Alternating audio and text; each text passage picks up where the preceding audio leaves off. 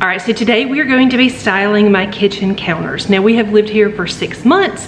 Some of the counters, I like the way they are. Some of them feel too cluttered. Some of them feel like they need a little something, but we're going to do this very easily and we're going to do it on a budget, so stay tuned.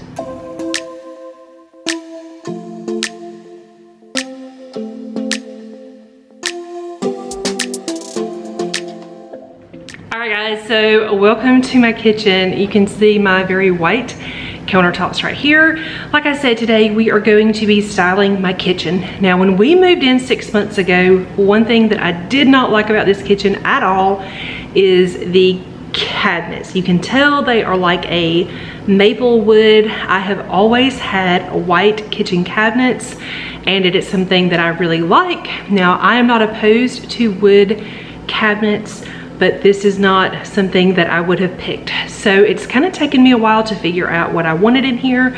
There's a lot more counter space than what I'm used to. We are renting, so I can't paint counters. I can't really change our backsplash, but I did kind of want to spruce this up and mostly just make it more functional. There were some things on my counter that kind of needed to be upgraded. And like I said, a few things felt a little bit cluttery to me. I like to keep things very streamlined, very functional. And so that's what we're gonna be working on today. So the first thing I'm gonna do is I'm gonna kind of give you an overview of the kitchen. Then I'm gonna give you a small mini haul of the things that I did purchase. And then we are gonna start moving things around and get this place nice and styled. All right, so when you walk into my kitchen from kind of the garage side, this is what it looks like. Now, one thing that I did add not that long ago is this rug. This is something that I found at Target. I want to say it was about $25, which is a pretty good price for a runner like this. I needed something with some color and some pattern. And then, let's see, we'll just kind of start on this side. Over here, I actually really like this little setup. I just kind of have a crock with my stuff in it things that I use regularly. I'm good with that, but I probably am going to move some of that a little bit. Right here, I have another crock, and then over here, this is the area that I am not really liking. This cake plate I've had forever. I mean, not really forever, but I've probably had it for 20 years. And I broke the lid. And so I've kind of just used it for display, but I feel like it always looks cluttery. Now there's not a lot on here and it's not really cluttered, but I'm just one of those people that prefers things to be way more streamlined than this. So I have a solution for that. And then over here, that's just my sink and paper towels. And then over here you can see I kind of just have a really long counter space. And I would like for there to be just a little something else here. This is where um, Usually I dry dishes and they go right here for just a little bit. I like having our fruit right here. This is also kind of our main prep space. So when we do baking and we're cooking and things like that, we use this counter. So I don't like for it to be too cluttered, but I do think it needs a little bit of something up here on this. This is just our bar area. I'm good with just these little placemats. My kids eat right there. I don't like to really keep anything on this other level. We just keep that clear.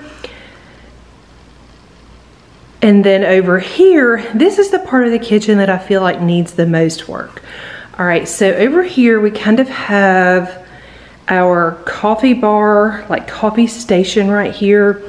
I like our Keurig, it's really pretty. I put it here initially to kind of help disguise some of these like electrical things. We've got plugs, we've got just a blank plate and then her light switch. I don't really care for this coffee canister. Over here, we have like our baking canisters. I've just got flour, oats, and sugar. Those are things that we use a lot. And because of pantry storage, I need to keep those out on the counter.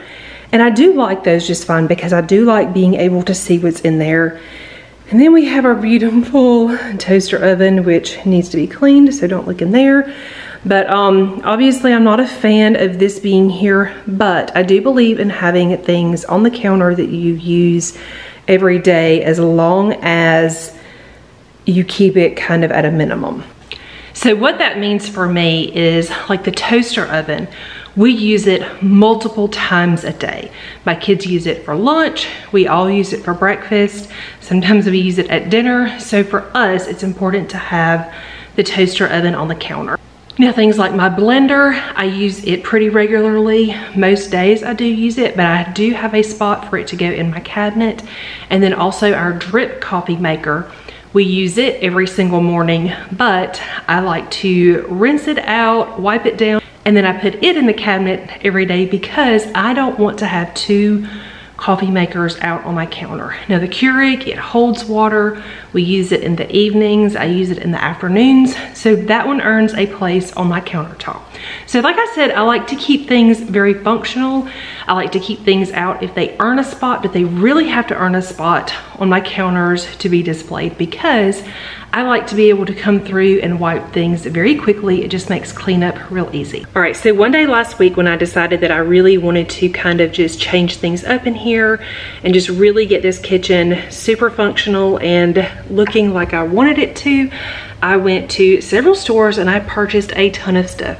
I purchased like risers that I thought I might use on my counters to kind of corral things. I purchased a holder to hold some coffee mugs and I took everything back. I ended up only keeping, I think, three things out of all of the things that I purchased. And the reason I'm telling you that is because sometimes we have it in our mind, like if you see something on Instagram or you see somebody's kitchen on YouTube, you're like, oh my goodness, do you see that and that and that and that in the kitchen? And while it may look pretty, and it may be functional for them, once you get it in your kitchen, it may not feel right to you.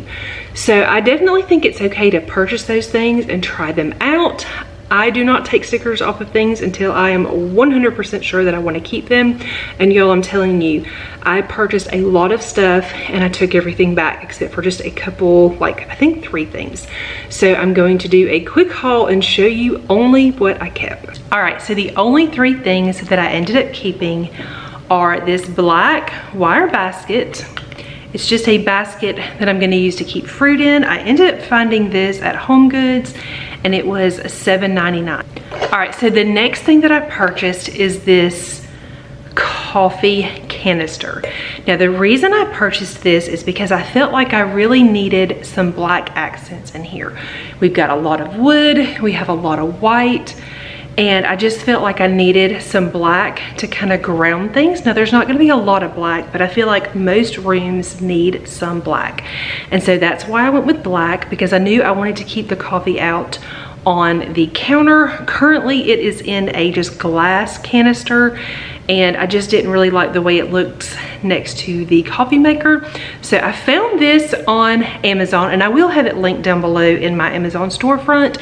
But the reason I went with this particular one is because it is one of those, it has like a CO2 valve or something like that and it keeps your coffee like really, really fresh. This is not sponsored. This is something that I purchased with my own money, but I wanted to tell you kind of why I went that direction. I actually really wanted to get some new canisters, like a set of three canisters to put out on my counter, but I just wasn't finding anything that I like. The other reason I decided not to do that is because this is a rental home for us, and all of the canisters that I found that I did like, they were really expensive, and my personal preference is to have canisters in a pantry.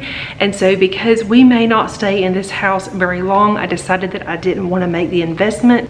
All right, so the last thing I purchased is a cake plate. Now I'm gonna see if I can pick it up.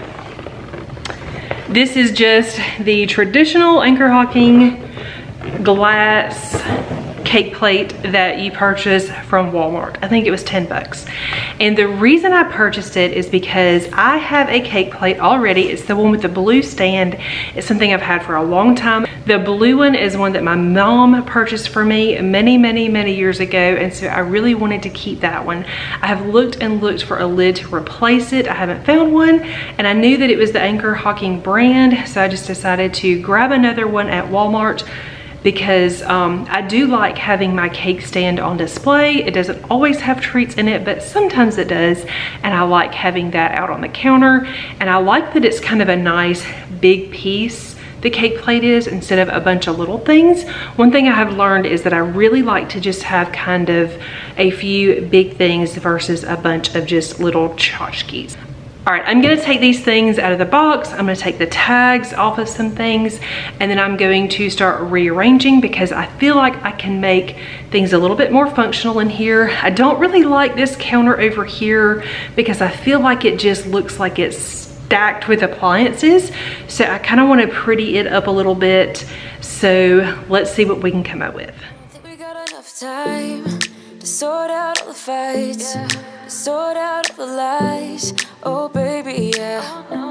There was a part of me that knew that, and still I'm caught by surprise. I thought you'd always be mine. Oh, yeah, I guess our dreams fell asleep. There's no passion in the comatose. Baby, going down, down, down, down, down. Baby, going down, down, down, down, down. Tried so hard to stay afloat. Yeah, we keep moving like the river goes. Baby, going down, down, down, down. Thought,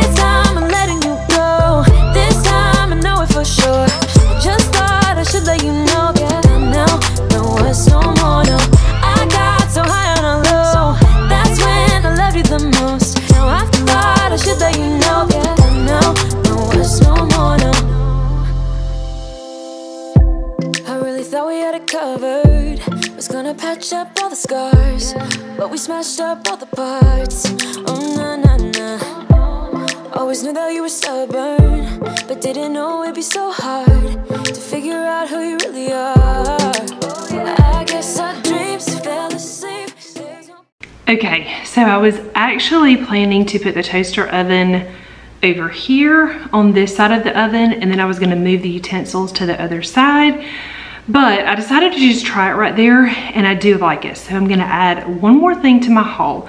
This is something that I was really hoping I could make work in here, but when I kind of did a trial run on this, I, um, I did not think to swap these two. So when I just tried it, like I said, I really liked it.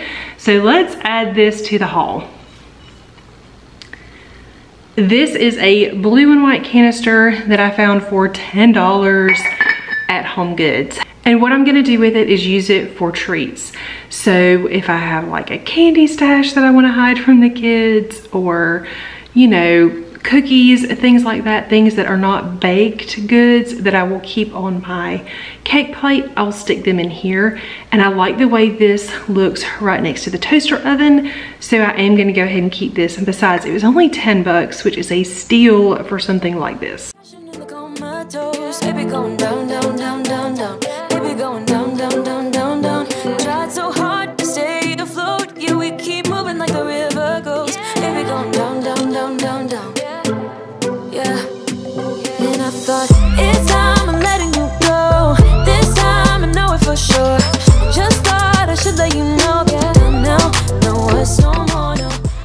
Okay, so I moved the canisters over here where we typically use them.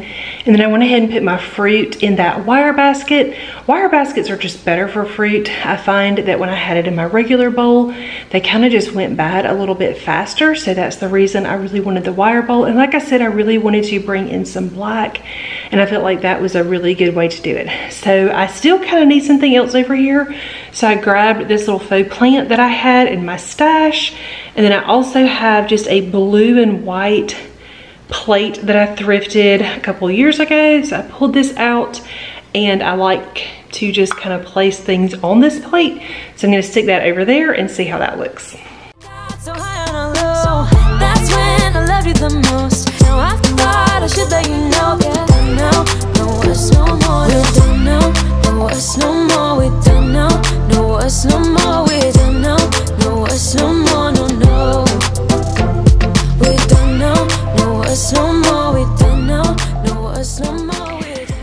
I like how that's looking so far. The last thing I need to do is address this corner right here where the coffee maker used to be. It's kind of just a big blank open space right now. And one thing that I like to do is I like to always kind of bring in some kind of picture into the kitchen. Now it doesn't work in every kitchen, but I think it's gonna be a good fit for this kitchen. So I've got a picture in mind that I think is gonna fit. I'm gonna go grab it and then I'll see if I need to uh, bring anything else in. I think it's gonna go do a good job of hiding some of these extra outlets and things that we don't really use. So let's do that real quick. All right, so this is just a picture. This is one of my favorite pictures. Sorry, there's a glare on it. This is one of my favorite pictures that I've ever taken of Henry. We were out by the pond and he was sitting on the dock fishing and it is such a sweet picture. This frame is one that I thrifted many years ago. I, um, it's been painted white. I painted the mat. You can see on the back, I mean, it's got tape and a wire and all kinds of things. But when I put it on the counter, you're not gonna see any of that.